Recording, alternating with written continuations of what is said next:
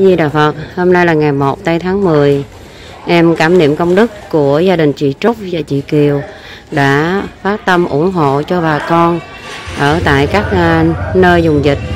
À, hôm nay em cũng cũng à, chia sẻ cho các khu nhà trọ và các quận của của mình nha. A Di Đà Phật, mô Phật. Đây.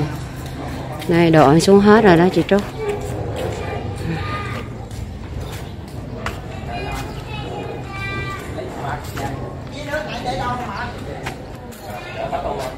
Này, lòng.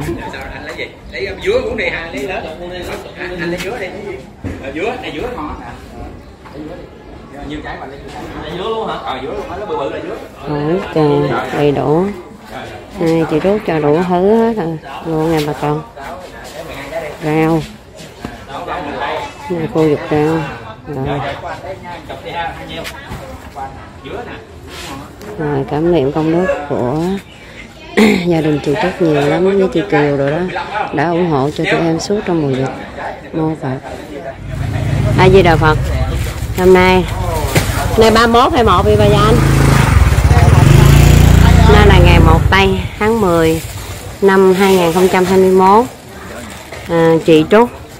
À, cảm niệm chị Trúc và gia đình của chị đã ủng hộ cho bà con hôm nay.